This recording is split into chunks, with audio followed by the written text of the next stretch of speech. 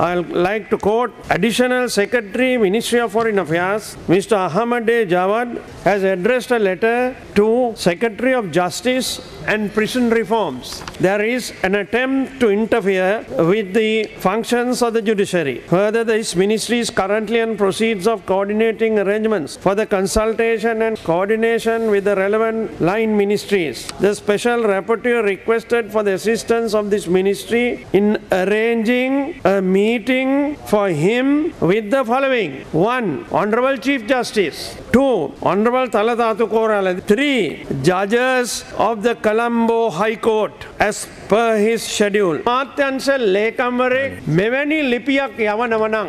මොකක්ද මොබතුමාට තේරෙන මොකක්ද මේ රටේ මාම දැනුවත් කියන්නේ. අධිකරණය මුණ දෙන තත්ත්වය විශේෂයෙන්ම නඩු හතරක් පැහැදිලිව නම් කරලා තියෙනවා death of Mr.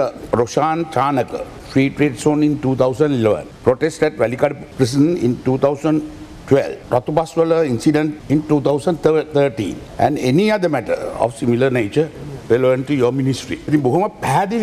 They're going to meet at 3 p.m. today and you still have time to intervene. Allowing the Chief Justice and High Court judges to be questioned this way is a threat to the independence of the judiciary. If ministers and their secretaries are involved in this, then they too are in contempt of court. We will have to take them to the Supreme Court if they are.